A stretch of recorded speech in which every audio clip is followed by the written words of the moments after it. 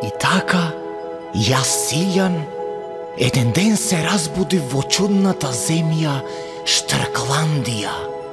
Некои чудни суштества живееа во оваа прекрасна тропска земја. Што ли беа тие? Тоа беа некои чудни штркови.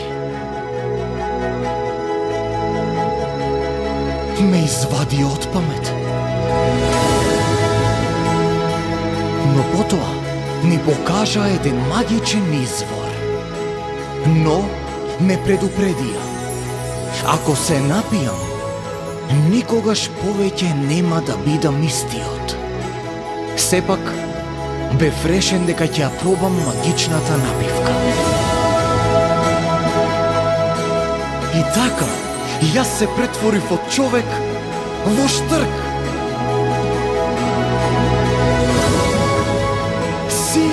Штркот! Така станав еден од нив. Вечно среќните штркови од Штркландија.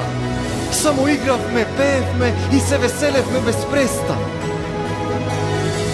Се до еден ден, кога се ми изгуби смисла. Ми се смачи од играње и од пеење и од смеење.